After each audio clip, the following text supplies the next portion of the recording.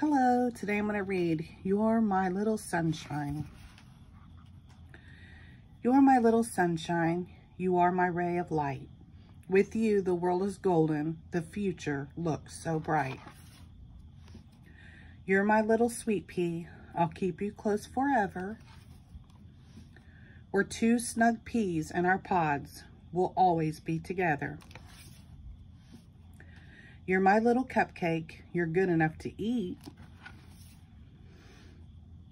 I'll sprinkle you with kisses, you're my sugar frosted treat.